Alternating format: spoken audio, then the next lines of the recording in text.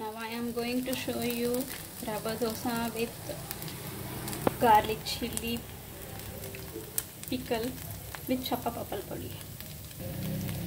Now I am turning this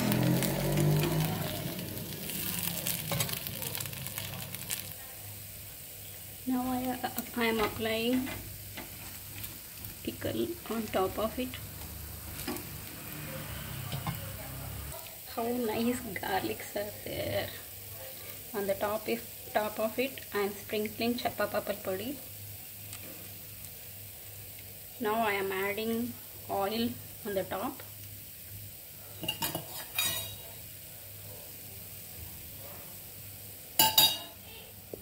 Now I am removing from pan. Yummy yummy crispy crispy garlic pickle with papal podi dosa is ready to serve please like and subscribe my channel until then keep smiling